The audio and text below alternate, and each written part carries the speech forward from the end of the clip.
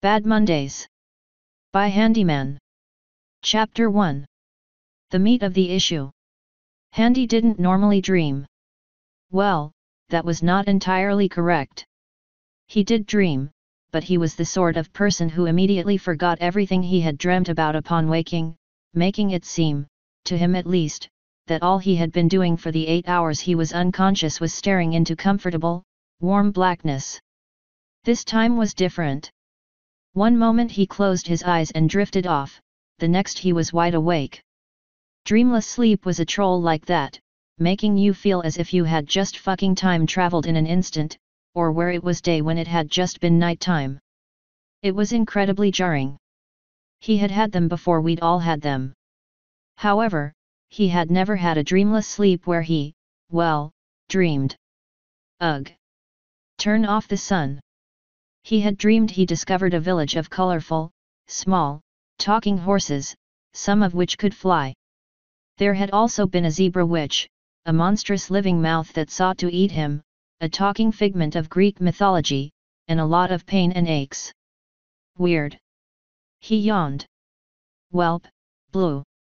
Time to go to work, he said, pushing off his blanket, surprised to see he was wearing his shirt in bed. Funny, he thought. I never sleep with my shirt. Then he noticed his bed was a field, his shirt was torn, and his blanket was his hoodie. Trepidation crept along his skin. Oh no! You're up early, a distressingly familiar voice spoke up from behind him. He froze. He looked slowly over his right shoulder. Lying there, across from the smoldering remains of the fire from the night before, was the sprawled form of the griffin, Joachim. The feathery fallacy yawned widely before smacking his beak a few times, his eyes heavy with sleep. Handy's mind word, processing it all one more time. Yab. He was still in the land of madness. It had all happened, the cockatrice, the ponies, the witch, the jaw, the briar, the river, the pain, the aches, and the hangover. He sighed in defeat. Bollocks, he said. What? Nothing, just an expression. I uh. Good morning. Jokesome, wasn't it? Joachim. Joachim, right, Joachim, sorry. Just, still recovering you know. MMM, Joachim hummed, rubbing his eyes with a claw. Satisfied you didn't get clawed in the night, he asked, giving Handy a withering look. Handy avoided his gaze. Look. I regret my words okay. It's just. Yesterday was rough, I, and I am not normally an open sort of man. Whatever. In any case, come on. I'm hungry. We need to get some breakfast. I normally skip breakfasts in the morning, Handy said. Joachim raised an eyebrow, which Handy admittedly found impressive on what was essentially the face of a bird. He didn't have an eyebrow the way a human would, but the muscle was there. The silver-black feathers which formed a pattern around his eyes accentuated his expression, allowing him for a surprising degree of facial communication. That's hardly wise, and you say you traveled to your place of work? Surely you had time to take breakfast with you? Joachim asked. Handy shook his head. Nat, only had a half hour to get to work most mornings, provided I got enough sleep then I had to spend whatever time between arrival and my work start time preparing everything to work the way it's supposed to. Handy grimaced. Computers were such fickle things. Who needed a woman? Technology provided all the frustration to set a guy up for life. Joachim shrugged, missing the context. Still, that's no excuse. Probably isn't, but this is pointless. It's not as if we're on a deadline. What did you have in mind for food? Handy asked. Joachim stroked the bottom of his chin. Well, more like his beak. The strangeness of a gesture of a creature that had such a radically difficult facial structure amused Handy, but he figured it would be rude to point it out. Well, I was thinking of apples, although honestly. I could go for a daisy sandwich, Joachim said. Handy blinked. Wait, what? he asked. Daisy sandwich, Joachim said with a contented smile. It looked odd to Handy, almost as if it was, forced. Preferably with good, freshly made wheaten bread and freshly picked flowers, although that isn't too important. Once you get used to it, squashing the sandwich down and keeping them fresh for the road, you can get used to the taste easily. However, hold up wait, Handy said, holding up a hand to stop the griffin's babbling.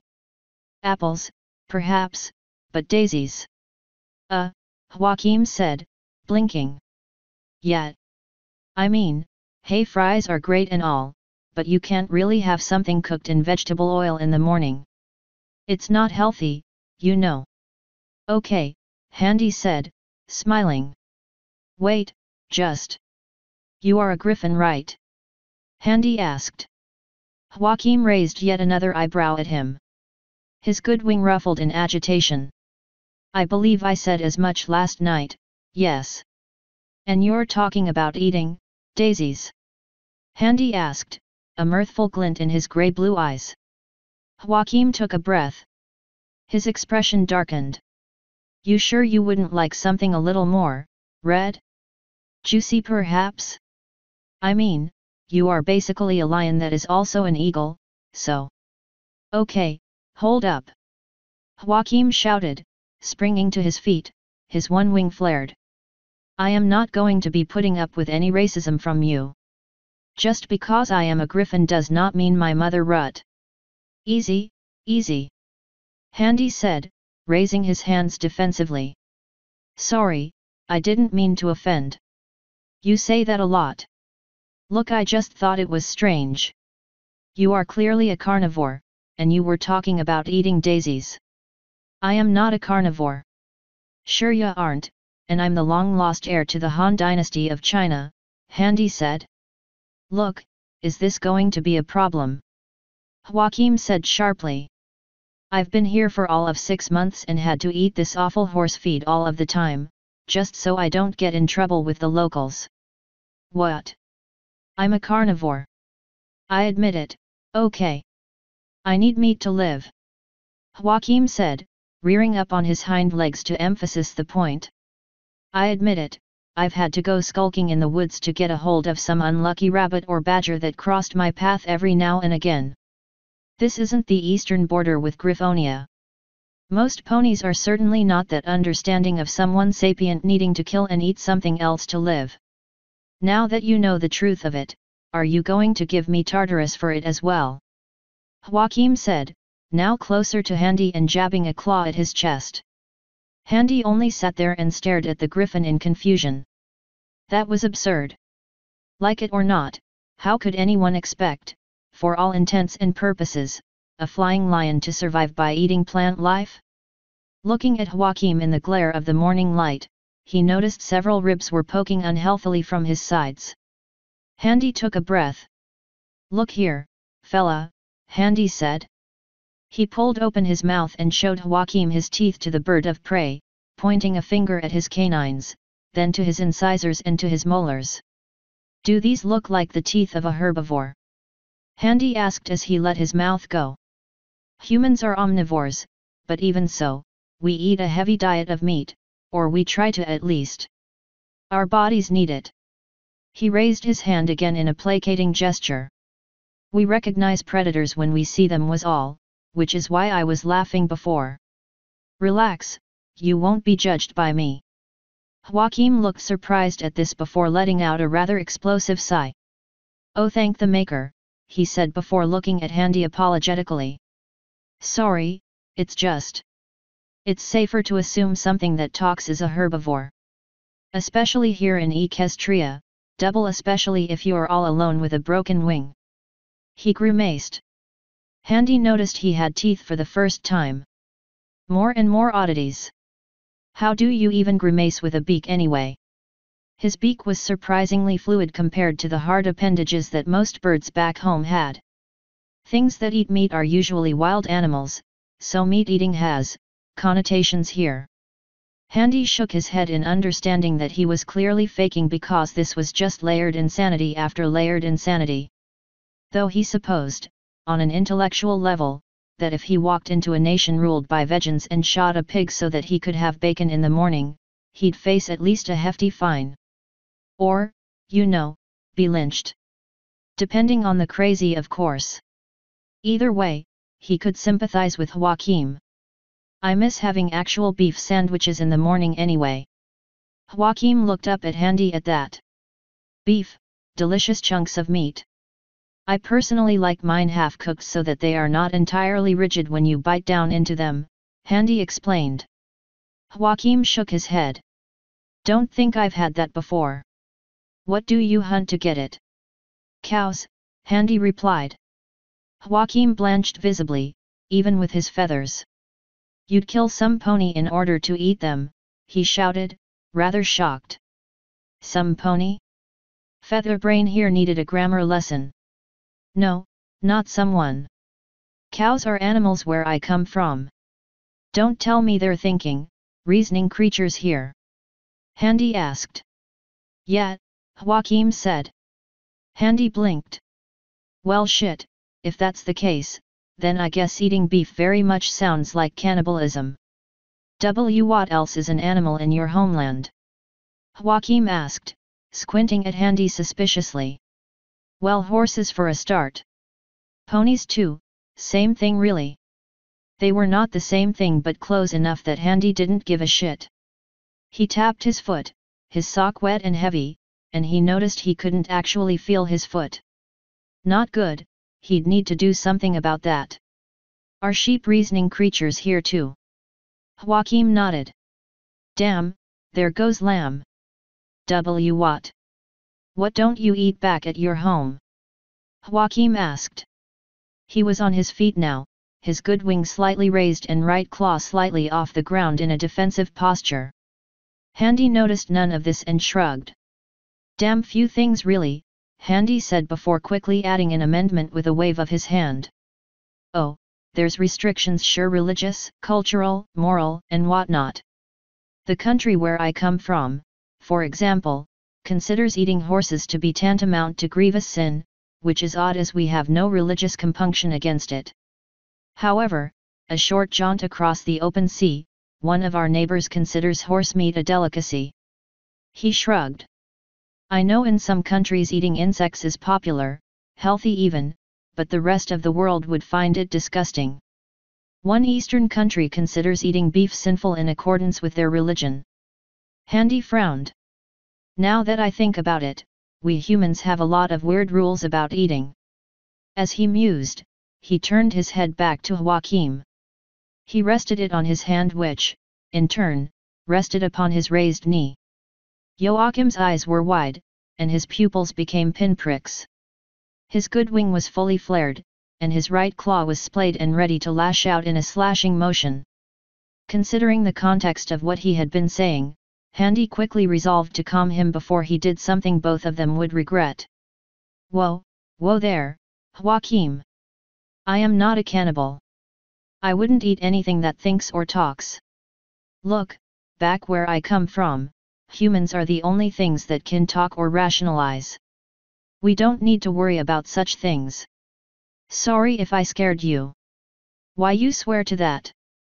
Joachim asked, now stepping back to put a bit of distance between him and the creature whose race he was now imagining as a voracious horde of insects, consuming everything in their path.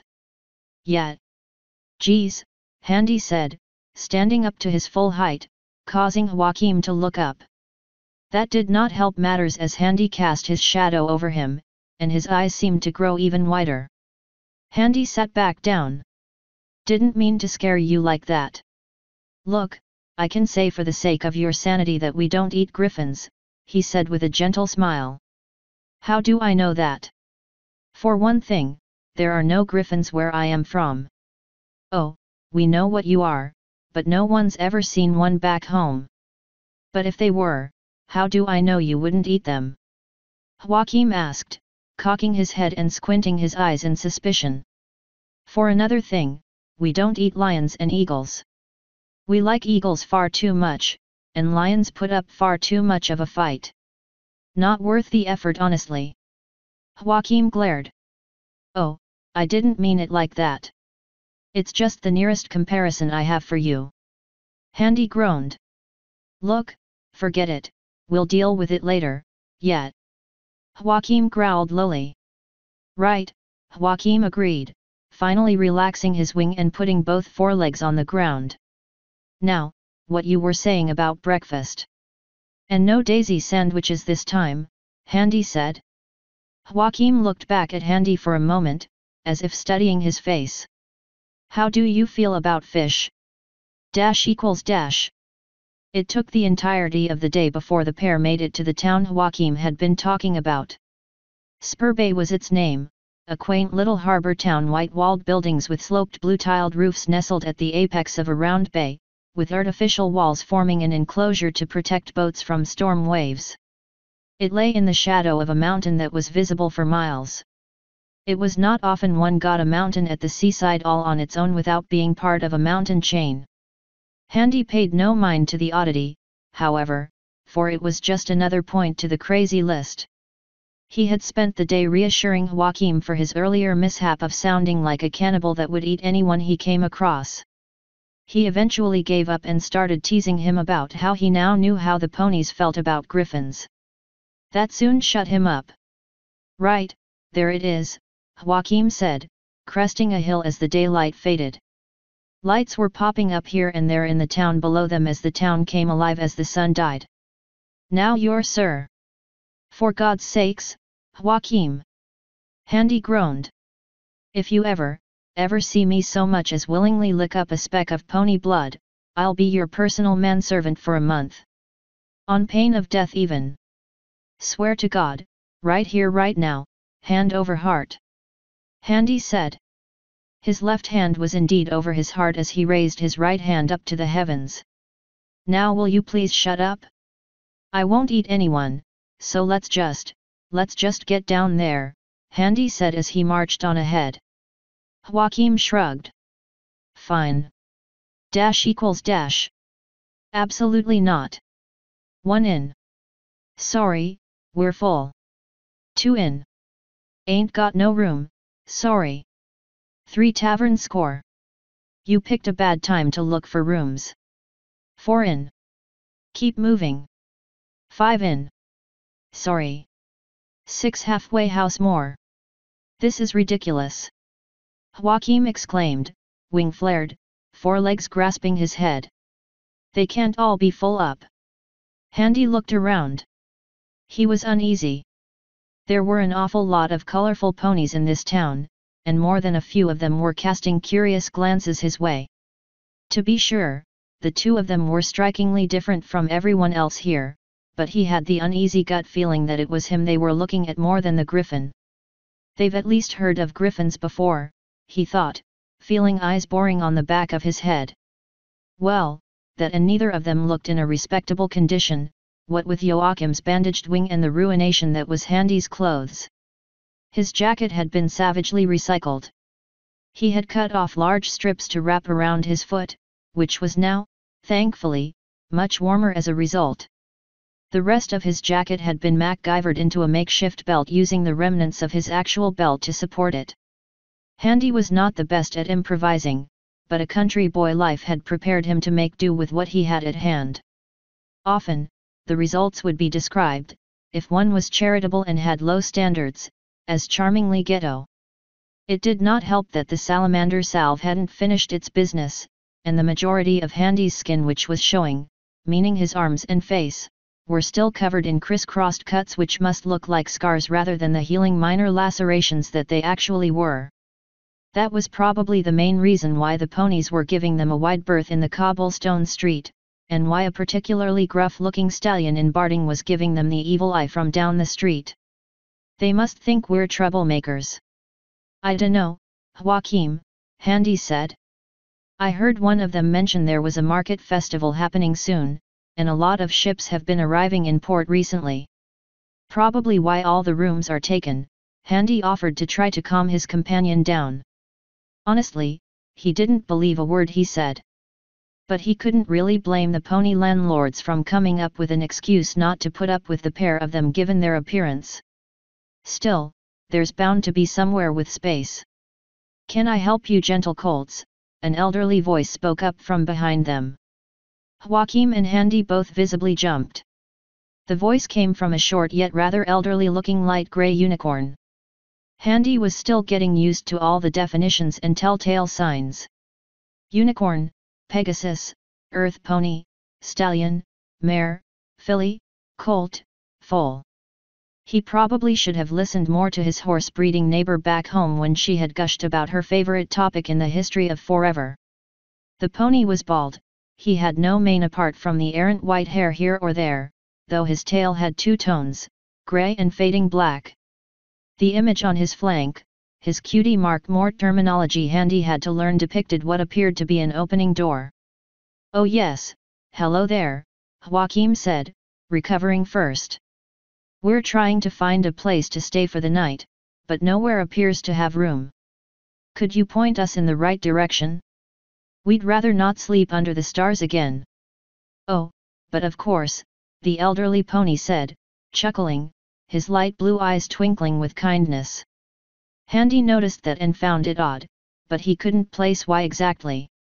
Ah figured you young uns were looking a little lost, and well, I'll be if I didn't see no pony try to help you or even ask if you needed a hoof. Why, it seemed as if they were trying to avoid you, he said, loud enough that it could be overheard. Several ponies shied away at that and averted their gaze. Some held their heads down low a bit. The guard pony from before suddenly found something else to draw his attention. Handy looked back down at the old pony.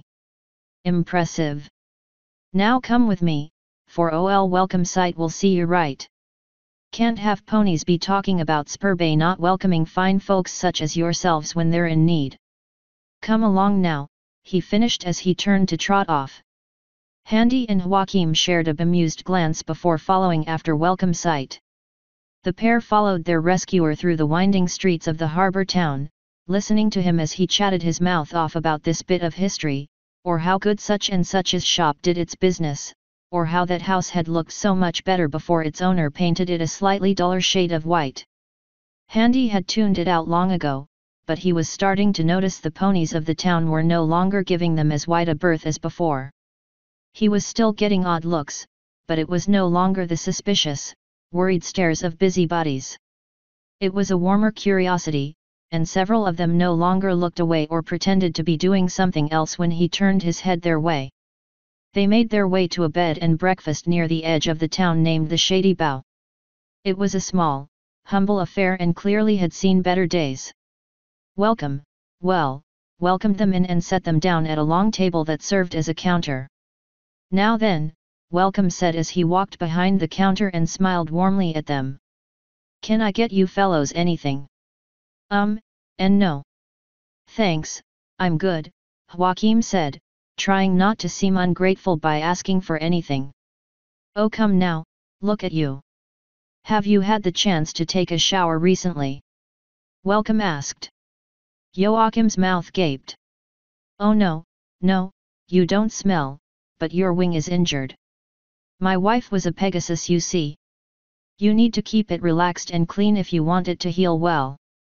You've clearly been traveling for a long while. Welcome smiled, heading off Joachim's concern. Feel free to use the restroom if you need to. Go on now, up you get. I'll have some warm tea for you when you come back down. Go on. Joachim's expression was somewhere between surprise and gratitude. Handy looked at him as he got up I uh. Thanks, Joachim said as he made his way to the stairs. Up here. Yes, second on your left, welcome said. Joachim looked up the stairs for a few seconds before turning back to welcome. Yes, it's fine. Go on now, welcome said to Joachim's unasked question. After Joachim had reached the top of the stairs, Welcome turned his sights to Handy. Well now, you seem to be a long way from home. What's your name, stranger? Handy, Handy said. Well, I won't hear a word about it, so as soon as your friend's done, it'll be you next. But can I get you anything? Tea? Coffee? Perhaps you'd like something stronger. I saw your hoof wrapped in a bandage might ya need it for the pain. Just water, uh, I mean, thanks, Handy said. Given his first day in Equestria, such kindness was rather jarring. In truth, he was still in pain, his leg throbbed at times, the aches in his bones made him feel stiff, and more than once he heard his neck crack alarmingly as he turned it. He also had a cold coming on. He had been feeling worse and worse since that morning. As if on cue, he clasped his hands to his face as he sneezed rather explosively. He shuddered. He saw a handkerchief floating in the air above him. Thanks, he said, taking it and using it to clean up. It was then he noticed that the handkerchief was floating. The unicorn before him had used magic to levitate it over to him. Joachim had told him about unicorn magic, and he had seen little snippets of it since he arrived at Spurbay, but he still couldn't really believe it actually happened. Welcome seemed to notice Handy's discomfort. Something wrong, Handy? he asked, concern showing in his eyes. No, no just, feeling under the weather, he said as Welcome smiled and turned away. Actually, Handy began, stopping the unicorn before he left the room, could you, make me a cup of tea? I'd uh. I'd appreciate it, but I don't want to impose. Not at all. I'll get you some now. Dash equals dash. He's taking his sweet time up there, Handy thought to himself. Well that would explain your cuts. The Everfree is not a good place to find yourself after a rough night, Welcome said, chuckling softly. You should be more careful when you drink. You sure you don't know how to get home? Well, I didn't know Equestria existed until I awoke yesterday, so I guess no, I don't think I do, Handy answered, having decided to go for them my country is so far away from here that I don't know where here even is, explanation, rather than the preposterous I am an alien from another world. I also eat a lot of meat. Your meat, but don't worry, I won't eat you, explanation for why he was now in Equestria. Once Joachim got down, he'd get a hold of him and set him straight with the correct story, just in case he went talking to anyone else about Handy. He had seen the Griffin's reaction when Handy had told him only the slimmest information about his world, and he didn't want the dominant species to start unleashing manhunts to rid themselves of him. Joachim's paranoia is infectious it seems. Ah well, I'm sure you'll find your way back. Is that why you're here? To get a ship? Well no, but now that you mention it, are there any ships that go across the ocean? Not these days, no. In Spurbay's heyday, there would be oceanic ships arriving in the harbour, but times change. Sides, with the Saltwater Festival coming up, I'd imagine all the ships arriving are likely to be staying until its end. Or a few days after once their crews sober up, he said, laughing again. Handy smiled. This pony made a great bartender. Worth a shot to ask, Handy admitted as he warmed his hands around the cup of tea. Honestly, I'm here with Joachim because of the mine nearby. Welcome's ears flicked up. What do you want with the mine? he asked, a slight tremor in his voice. Well, there's the reward for evicting the diamond dogs. Me and Joachim need the money. So you're not here for the wishing stone? Welcome asked. There was a strange twinge to his voice. Well no, Handy admitted. If there really was a wishing stone, wouldn't the diamond dogs have used it by now? Handy asked, not knowing what in the hell a diamond dog actually was. Maybe it's literally a dog made of diamond, Handy mused. Wonder how much one would sell for. Welcome's sight dropped at that. Yes.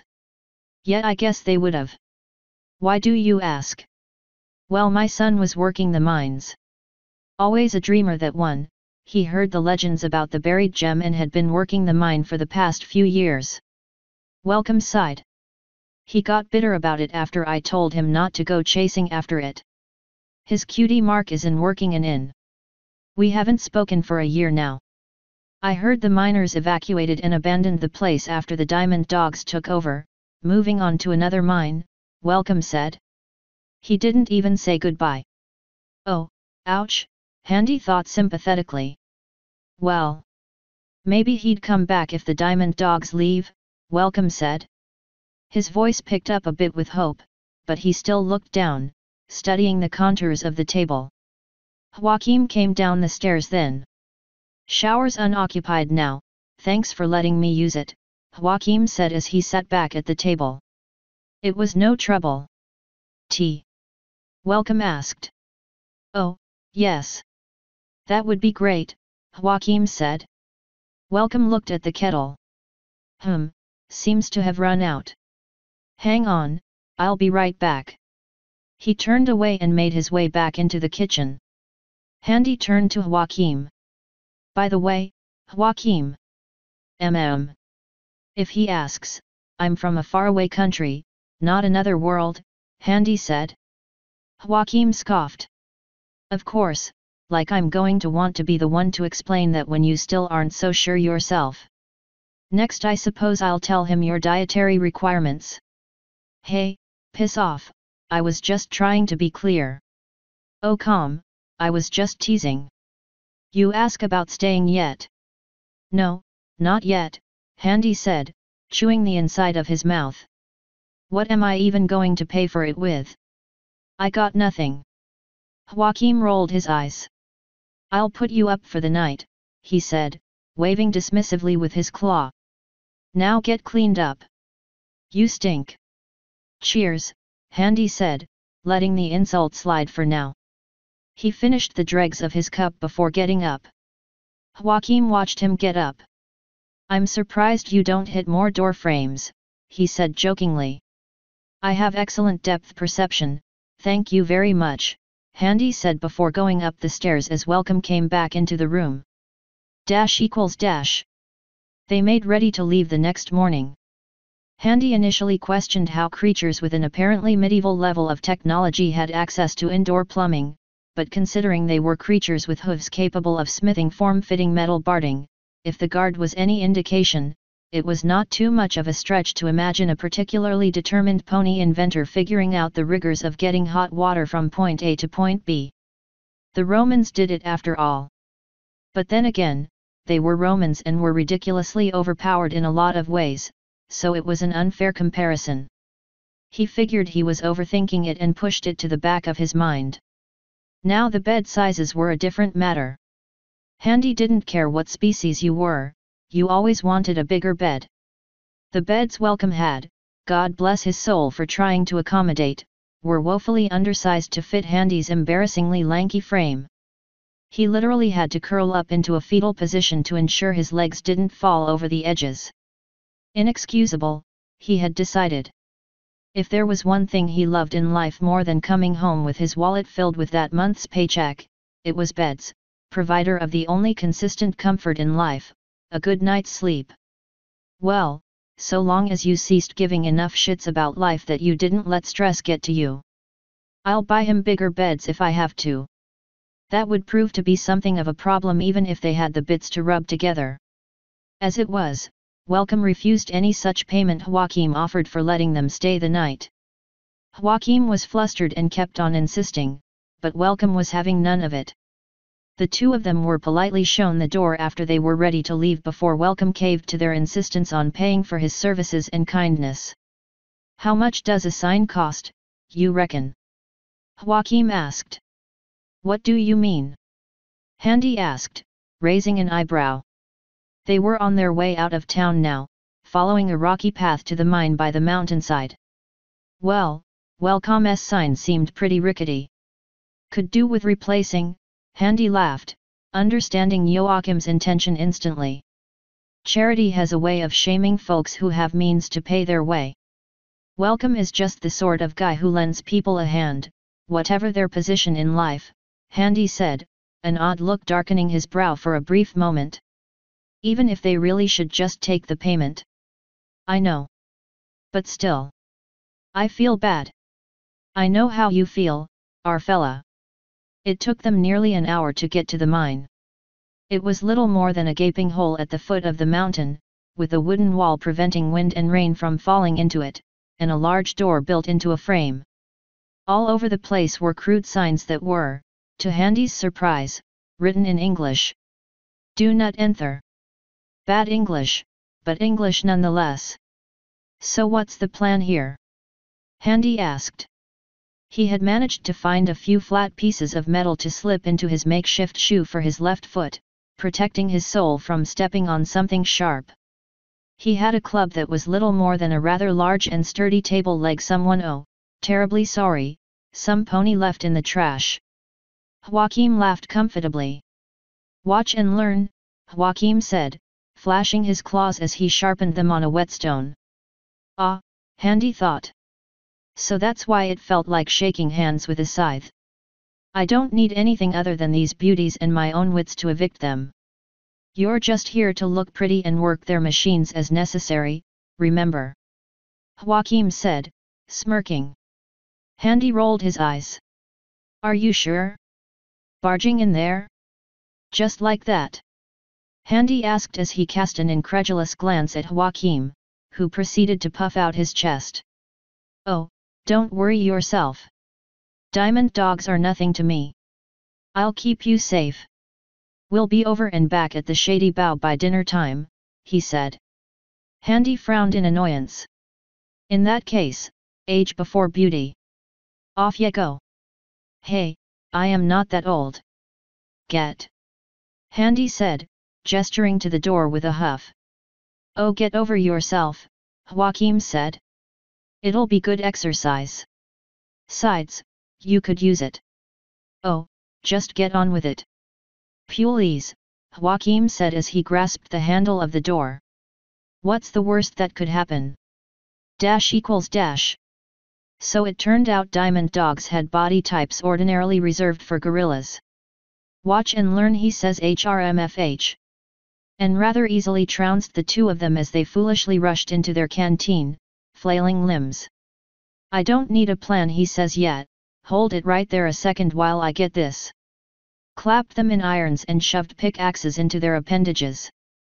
Get over yourself he say, it'll be good exercise he says watch it. And now they had been working the mine for the past week, getting precious gems for their new canine overlords. Considering the fact that this mine specialized in extracting metal ores, it was, understandably, slow going. What's the worst that could happen he says. Haha. He says that, he actually says that. Handy exclaimed. I'm standing right here, you know.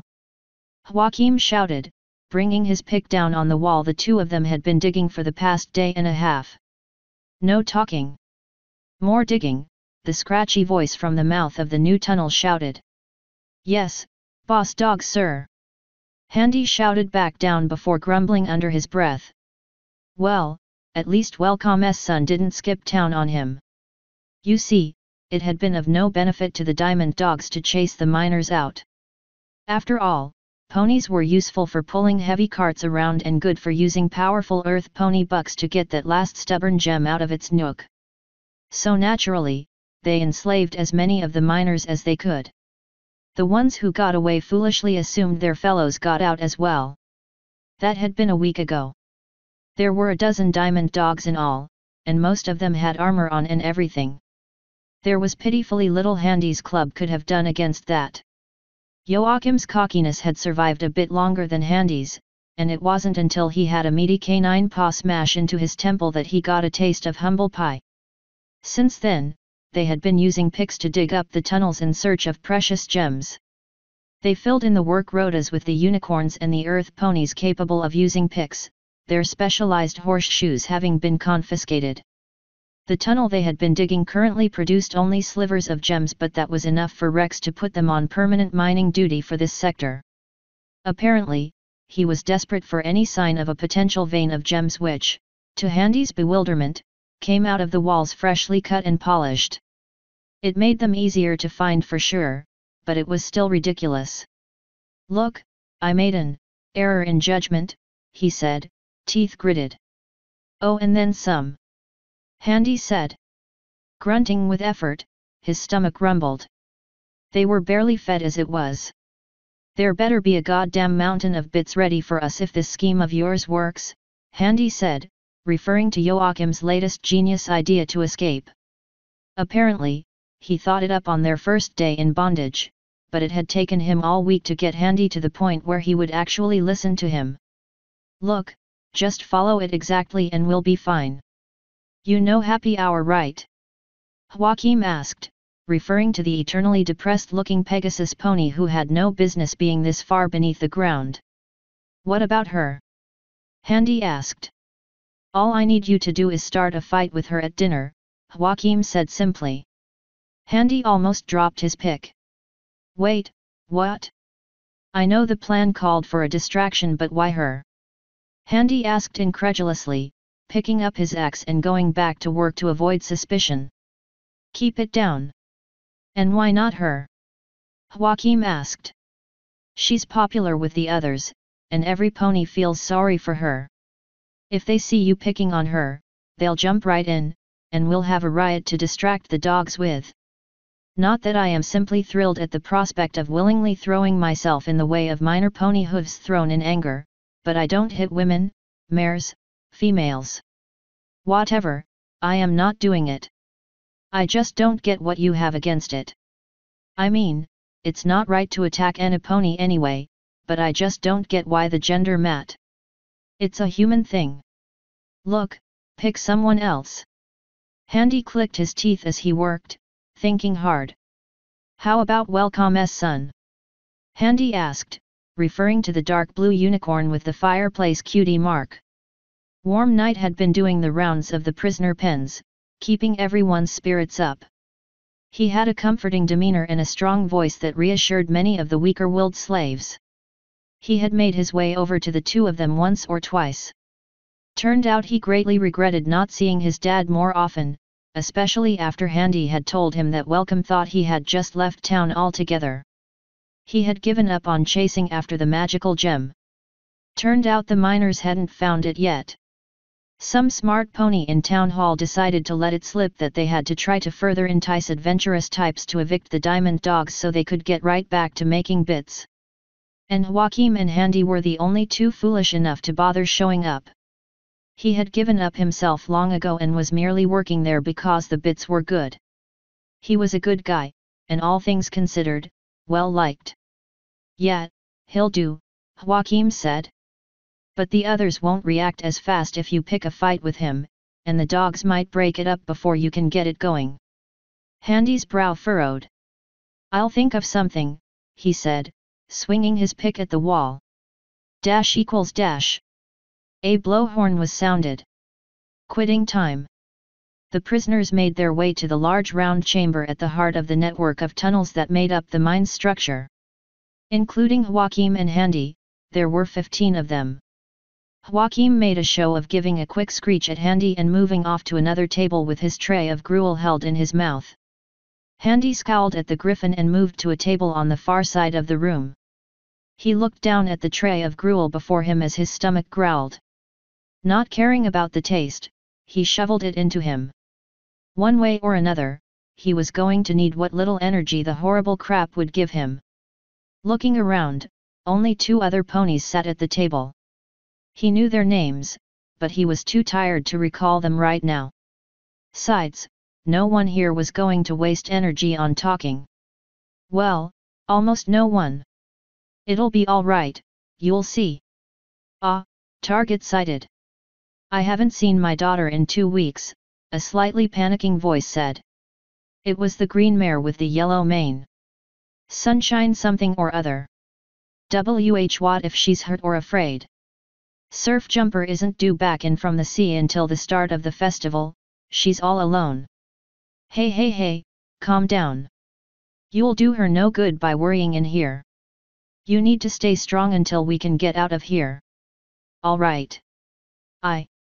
Th thanks, thank you, Knight. Now, if you ever want to talk, you can always come to me, you hear? Now eat, keep your strength up. How terribly noble, Handy thought derisively. Fat, if he was that considerate, he wouldn't be here in the first place given how worried his father became over his obsession. Handy shoved the last bit of gruel into his mouth with his hand and looked around to the guards. He saw three of the dogs in armor growling among themselves and throwing dice in a cup over a pitiful pile of gems. One of them clearly did not enjoy losing and punched another in the face. Rex, tall bastard that he was, materialized behind them and immediately shoved the two apart. Usually when he saw fractious behavior in the dogs, Rex would quickly squash it, and the dogs would whimper to avoid the wrath of the pack leader. But this time, a few growled and said something to Rex in an angry tone. Discontent in the ranks? Handy's mind went to work. He lifted his tray and took it over to the bin that would be washed as soon as the last pony finished eating, who was usually the one who got left with the duty. He glanced over at Joachim's position. His wings had been tied by the dogs, much like Happy Hours had been, but he was subtly looking over his shoulders, keeping an eye on Handy and Warm Night, as well as the doors. Handy glanced back at Rex, who was busy shouting down a group of dogs. He couldn't fight them, and while not the brightest, the dogs wouldn't trust him long enough for a trick he could think up to work, so time to offer them something they might actually want. Excuse me, boss, Handy said, approaching the group of dogs. The four of them turned around, and Rex growled. What do you want, Baldy? Rex asked, You're finished eating, so wait for the others and then go back to your pen. He had an evil grin on his face. Unless you want to do more work.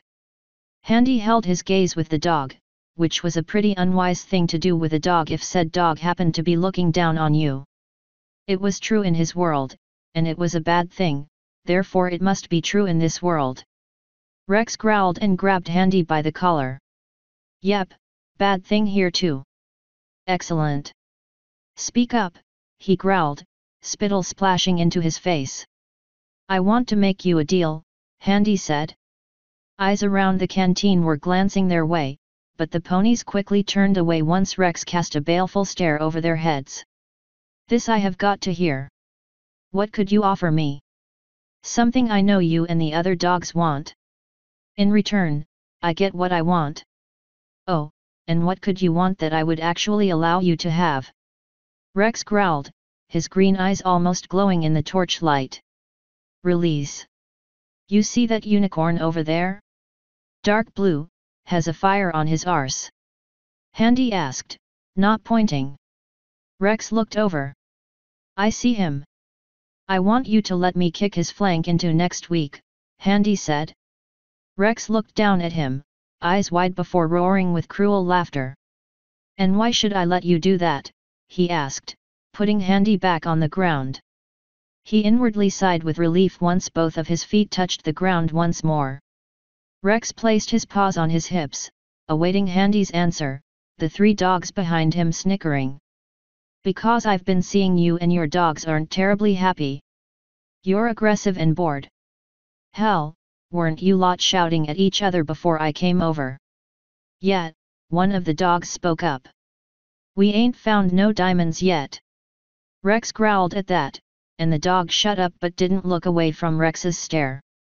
Also, that unicorn prick has been chirpier than a songbird since I got here, and it's really beginning to get at my nerves. I am offering you what you don't often get down here, Handy said. And what's that? Rex asked. Entertainment, Handy said simply with more confidence than he honestly felt. I bet you I could kick that unicorn's flank in under three minutes, Handy said, jabbing the palm of his left hand with his right index finger for emphasis. The dogs murmured to themselves but Rex looked upwards, rubbing his chin.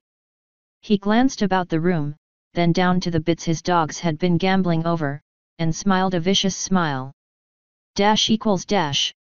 Hey, Warm Knight said, his warm baritone heralding his approach as he trotted over to the corner happy hour sat it.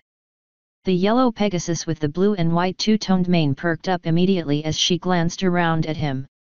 Night. Hi, she said happily, her eyes lighting up. Just checking up on you. How've you been? Knight asked, smiling warmly. Oh, uh, just, you know, still going, she said, giving Knight a very unbelievable confident smile. Knight frowned at that. Hey, Happy, listen, Knight said, a serious look on his face as he glanced around. Why yet? Happy said, rubbing a shoulder with one hoof as she sat on her stool, not meeting his eyes. I know it's been rough for you, but we'll make it. We'll get out of this, he said. Happy smiled ruefully. She believed him, but she had heard this before. I I know we will, but it's just, she let out a breath through her nostrils. It was a defeated gesture. I want to believe you, but the only help that came is now stuck down here with us. What? What if we don't make it out of here? she asked, finally looking him in the eyes, her own watering. It was clear she was on the verge of despair. Knight looked in those eyes for one second and knew that he would need to offer her more than just the usual reassurances. He looked down for a moment before placing his hoof on hers. Happy Hour looked down, her eyes widening a bit. WH wa. Happy, listen to me. Even if it's the last thing I do, I will make sure you'll see the sky again.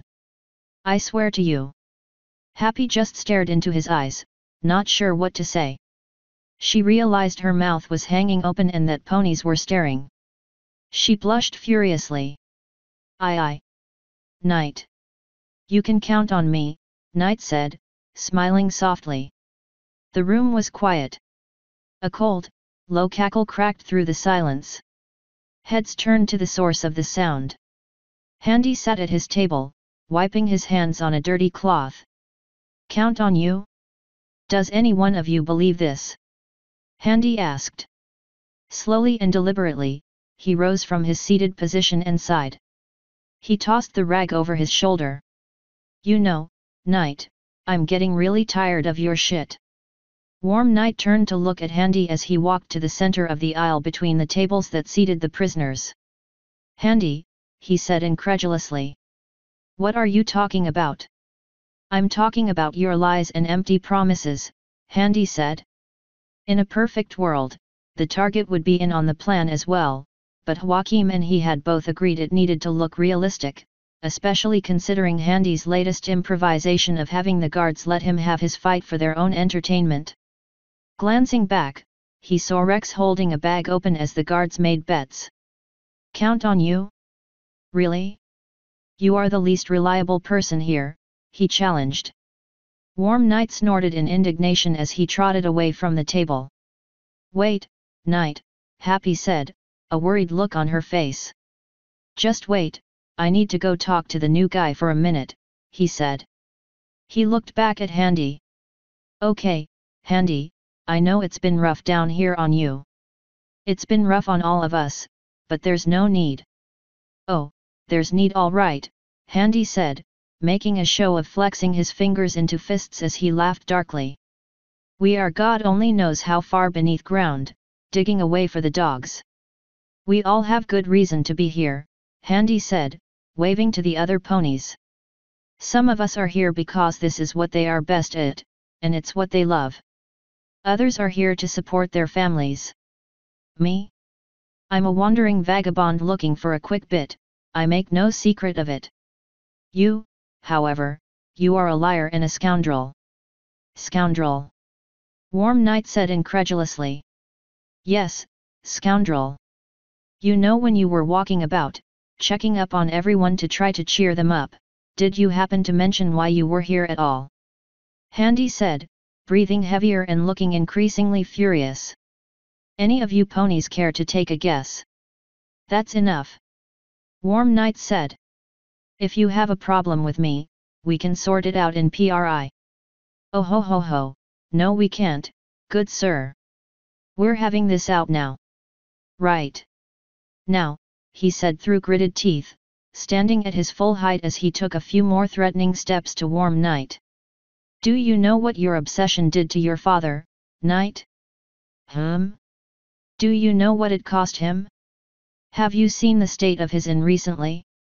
What did you say to him I wonder, what did you say to him to make him think, that when diamond dogs take over the mine his son works it, the first thought is not that his son might be in trouble, but that you left him and skipped town for another job. Handy smashed a fist down at a table, causing several ponies to jump and yelp. It had the desired effect. Warm Knight's face was drawn, a devastated look haunting his eyes. Ah, only now you're considering it, hey? All these years chasing a legend, and you forgot about those closest to you. Handy threw his head back in dark laughter. Every pony was now focused on the exchange. Whispers were passing back and forth, and the dogs were focusing eagerly on the spectacle. Joachim had disappeared. And you dare. You dare come around giving us reassurances and promises when all you care about is your own selfish ambitions. I call you coward and liar. I do not lie. Handy stopped. That was quite a shout. Warm Knight was breathing quite heavily now, cold fury in his eyes as tears rolled down his face. I do not lie. I have never lied in my life. Not to anyone, he swore, staring daggers at Handy and pawing at the ground in agitation. Perhaps he had pushed him too far? I swore to my mother. I swore to her on her deathbed I'd get the stone. I'd wish her to be better. I'd make everything better for Dad and her. I'd make sure they'd never need to worry about anything ever again, he confessed. That's why I am here. That's why I stayed here, all these years, after Dad told me to give up the foal's errand. I. I admit I may have lost sight of what really matters, he said, looking down at the ground as he closed his eyes.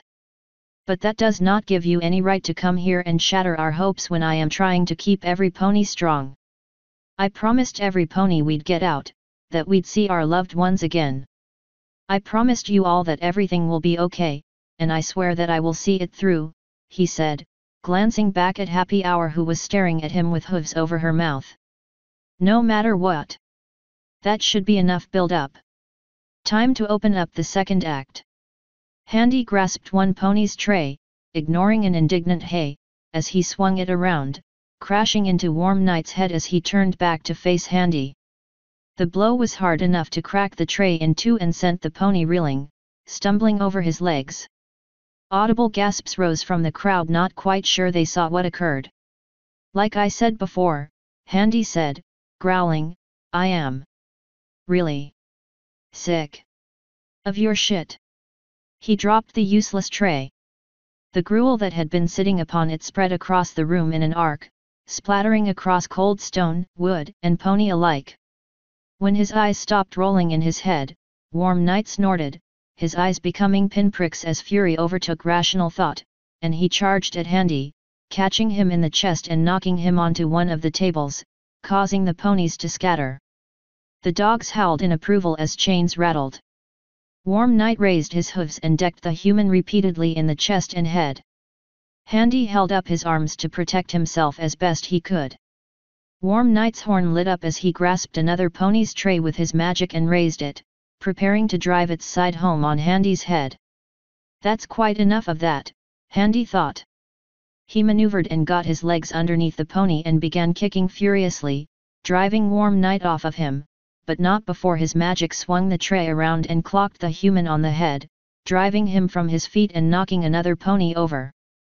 Handy grabbed the legs of a stool and rose to his feet, giving a guttural roar as he held the stool overhead, preparing to strike down on the pony. That was when a brown blur crashed into his side as an earth pony intervened to prevent him from caving in Worm's skull. Stop this, you mad BAS! Now at this point, the earth pony had crashed into Handy just after Handy was in the process of swinging the stool, thus only having negligible damage inflicted upon said object's momentum, only managing to change its direction instead. The stool flew over the ponies' heads and crashed into the face of some poor unfortunate unicorn who hadn't the sense to duck in time. Said unicorn's friend was furious and shouted at the earth pony, who was currently pummeling the human, and jumped up on the table to join the fray. The dogs were loving the show. Even Rex was howling. That was until he noticed more ponies were joining in. His little deal with the human had turned from quick diversion from the doldrums to a full-scale riot. He smacked the back of the heads of his dogs and barked to get their attention, gesticulating wildly at the growing mass of violence and fur. The dogs hurriedly jumped into the mass of swinging and bucking hooves, rattling chains, and swinging trays making an even larger chaotic mess as they struggled to regain control. Handy, meanwhile, was desperately dodging swinging hooves himself. An earth pony had clocked him in the face, and he knew he was going to be left with a black eye. He was pretty sure his leg, which at the start of the week had merely been sprained, was now properly broken. Wood splintered, ponies whinnied in fear and anger, and dogs barked. He ducked under a table to catch his breath as he observed the chaos emerging around him. Joachim, you fucking owe me, he hissed. I hope this works. Dash equals dash. Kmen, Kmen. Joachim said through gritted teeth. He had managed to sneak out of the canteen as Handy started his little performance. He had dodged a pair of dogs that rushed down the hallway as the sounds of fighting became quite hard to ignore. He had managed to break into Rex's room, which was the former Mine Fourpenny's office. Within it, ignoring the bags of precious gems the dog had been hoarding for himself, he found a set of keys within a rather ragged and clawed-looking desk. He hurriedly tried each one on the chain holding his wings down. Click! Yes! Joachim shouted in triumph before clasping a claw over his beak. He quickly poked his head out the door. No one's around. Good. He went back to work and looked at the mine layout Rex had on the desk. There was the canteen, there was the holding pen, that was this office, that was, a blue squiggly line. The Tartarus. Joachim said, squinting. Oh wait, that's the tunnel me and Handy were digging. Hey! And there was the room controlling the dog's iron door that blocked the exit. Joachim nodded with satisfaction. Rolling the map up and stuffing it under his wing, he made his exit and rushed towards the control room. He skidded to a stop, hearing a strong, rumbling noise. Backing up, he opened a large door that had been left ajar, entering one of the newer tunnels and gazing upon the haphazard monstrosity of moving parts and metal that was the Diamond Dog's drilling machine that they had, conveniently, left turned on. Joachim smiled.